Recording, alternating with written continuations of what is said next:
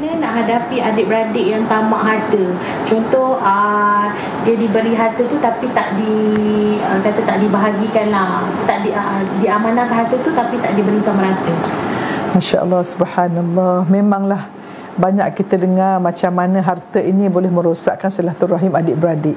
Ya Okay, pertama kalau sebagai doktor ni bila satu ada masalah banyak orang suka terus uh, rawat masalah. Tapi sebagai doktor saya nak mencegah masalah dan merawat masalah.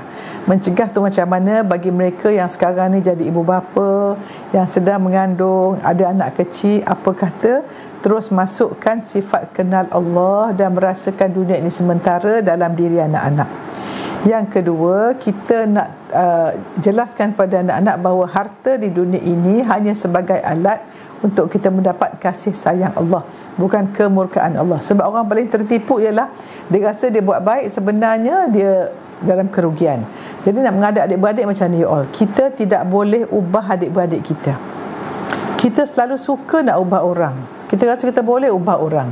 Kita nak ubah suasana, tetapi kita selalu tak nak ubah diri kita. Maknanya dalam bahasa Inggerisnya dengan izin dia kata we always overestimate our ability to change others but underestimate our ability to change ourselves. Jadi macam saya pernah beri formula peristiwa apa yang berlaku pada kita campur respon apa berlaku dalam jiwa kita bersamaan dengan hasil kehidupan.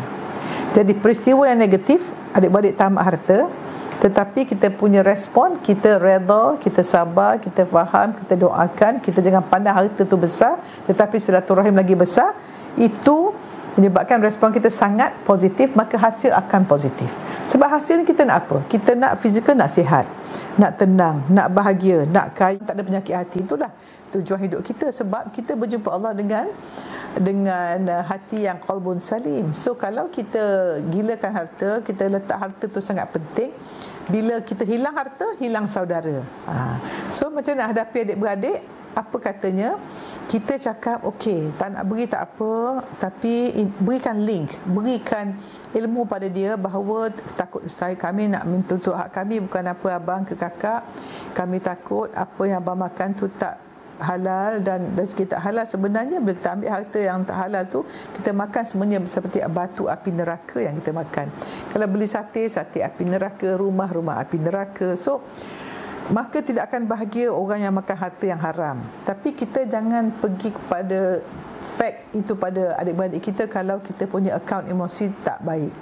Maknanya macam ni Uh, kita bayangkan kenapa abang atau kakak kita tak nak beri harta tu? Mungkin kemungkinan besar dalam keluarga ini dia punya akaun emosi atau kasih sayang sangat kurang.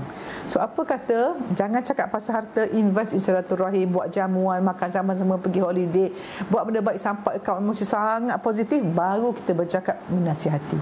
Itu saja. Kita tak dapat kawal dan kalau saya secara peribadi kena macam ni saya akan halalkan saja sebab ingat kalau bukan rezeki kita kita tidak akan dapat. So kalau tak beri bukan rezeki kita kita halalkan insya-Allah Allah akan, ganti berlipat kali ganda.